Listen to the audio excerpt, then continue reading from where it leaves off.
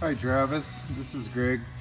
Just wanted to show you here, this is the new car. It looks like a new carburetor that you've gotten on here. Uh, the throttle plate has got a lot of play in the bore and so when I was shooting fuel down uh, I would take some alcohol and shoot it down in there while the engine was running and it would just snuff it right out. Um, so there's a large vacuum leak. Of course, that would mean a whole other carburetor. So I'm trying something here with some silicone. And uh, if you can see it better there. It's not pretty.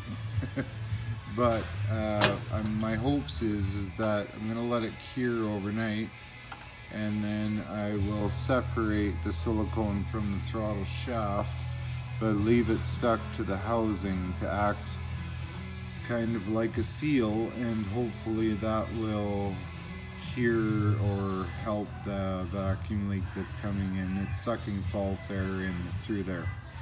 Alright, thanks. Bye.